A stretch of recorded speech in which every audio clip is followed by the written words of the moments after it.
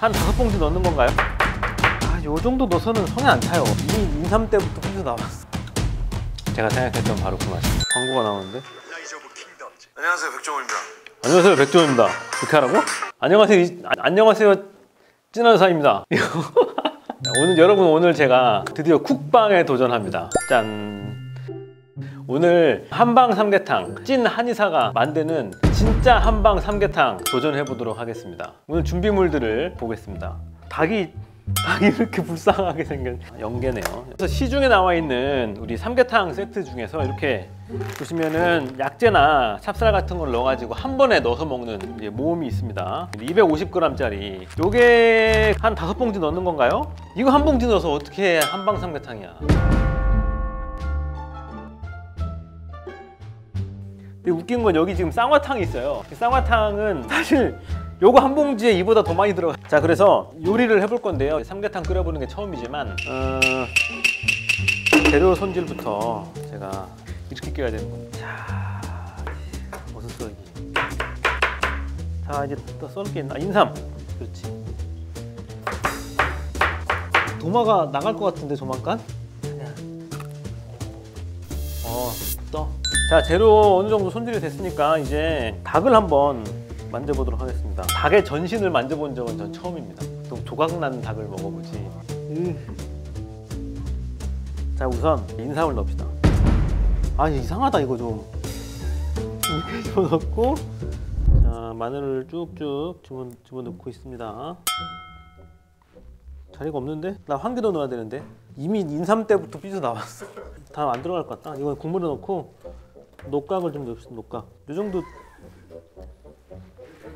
대추 하나 넣고 이 닭 안에 넣고 나머지 국물에 넣으면 돼. 레옹 같다 레옹.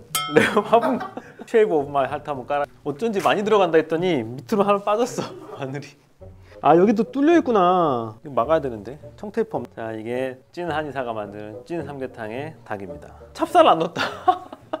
아이 그냥 고기만 먹어. 찹쌀 넣어야 돼? 그럼 위에다 뿌려 그러면. 이대로 넣는다 이제. 아 됐다. 자 이제 뭐 닭 뱃속은 채웠으니까 이제 국물을 맛있게 우러낼 수 있는 약재를 넣어보도록 하겠습니다. 대파를 깔아주는 겁니다 이렇게. 자 그럼 비싼 약부터 쭉쭉 넣어보도록 하겠습니다. 세 개. 보통 이제 삼계탕 한 그릇에 녹각 요, 요보다 작은 한 조각 정도 들어가 있어요. 그곳에 한 세 배 정도. 아 뱃속에도 들어가 있는데 참. 환기는 이미 뱃속에 좀 꽂아 넣었기 때문에 얼마 남지가 않았어요. 그래서 요건 그냥 다 넣도록 하겠습니다. 계량 하고 있어요 나름. 이제는 천궁 보혈 요 정도 딱 한 돈 정도 천궁을 넣어보도록 두 개 남았으니까 넣읍시다. 자 당귀 당귀 그냥 넣겠습니다. 다음은 붓기를 빼주는 상지 많이 넣어도 별 상관없어요. 넣읍시다. 아요 정도 넣어서는 성에 안 차요. 넣읍시다. 넣다 보니까 얼마 남지가 않았어요. 그냥 다 넣겠습니다. 그냥 다 넣습니다. 더 이상 안 들어갑니다. 이제. 무르 익어가고 있습니다. 아주 기대가 됩니다.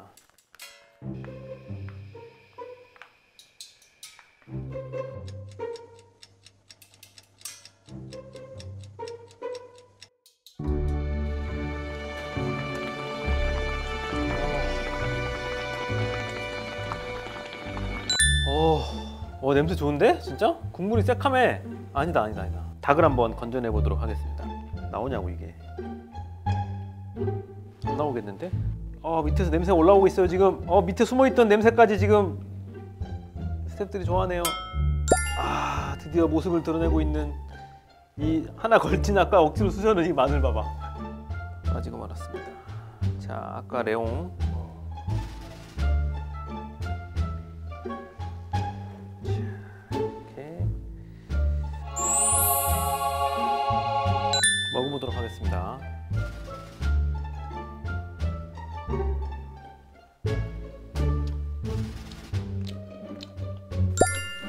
제가 생각했던 바로 그 맛입니다.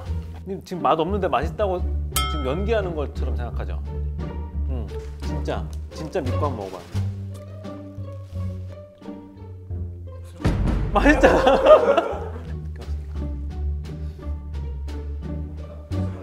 아, 진짜. 양 PD.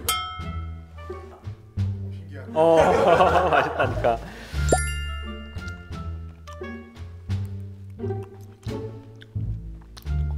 먹을 생각에 빨리 마무리하고 싶은 생각밖에 없습니다. 여러분 감사합니다.